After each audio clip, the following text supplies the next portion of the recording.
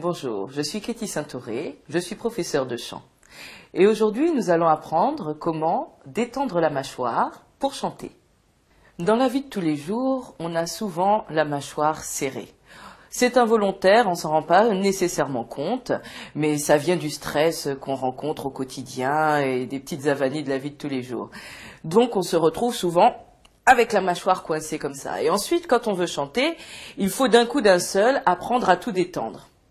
Alors, dans un premier temps, on va voir de quelle façon tout simplement détendre la mâchoire et ensuite ce qui est nécessaire pour vraiment avoir la performance nécessaire au niveau de la mâchoire pour pouvoir chanter sans effort.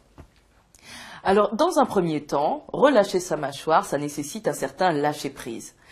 Alors, parfois, ce n'est pas toujours très élégant de se balader avec la mâchoire euh, complètement libre. Tout de suite, ça donne un air laissé aller que personne n'aime.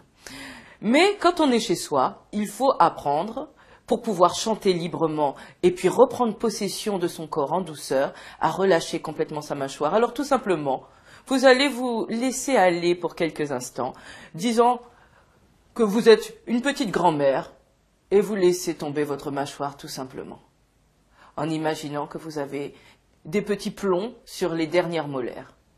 Et vous laissez tomber. C'est tout. Apprendre à détendre la mâchoire tout simplement en la laissant libre, c'est un premier pas, mais ça ne suffit pas. Quand on veut chanter avec liberté, c'est comme pour une danseuse, on n'obtient pas un grand écart sans étirer les muscles. Alors même en chant, il faut étirer les muscles de la mâchoire. Le but pour obtenir une totale liberté, c'est d'étirer les muscles qui se situent entre le maxillaire inférieur et supérieur. Alors, il y a une façon très simple de faire ça. Tout simplement, en ouvrant la mâchoire en douceur. Et là, vous allez constater que vous aurez un petit trou qui va se former entre les deux mâchoires. Vous mettez vos doigts dans ce petit trou et vous ouvrez. Et vous maintenez la position une quinzaine de secondes.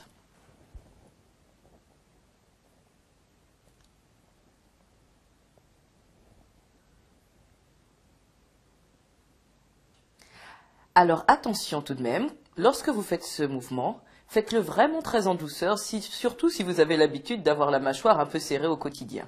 Ça peut tirer un petit peu, mais c'est pas grave, les muscles de cette zone sont faits pour ça. Alors une chose importante tout de même, lorsque vous faites ce mouvement, faites-le très en douceur pour démarrer. Sachant que quand on a l'habitude d'avoir une mâchoire serrée, eh bien au départ ça peut tirer un petit peu, mais c'est normal. Une autre chose également à savoir, c'est que quand vous ouvrez votre mâchoire, songez bien à tirer la mâchoire inférieure vers le cou. Ne tirez pas vers l'avant. Tirez vers le cou, en imaginant presque que votre cou va avaler votre mâchoire. Maintenant, vous savez comment détendre votre mâchoire. Avant de chanter, bon travail à tous.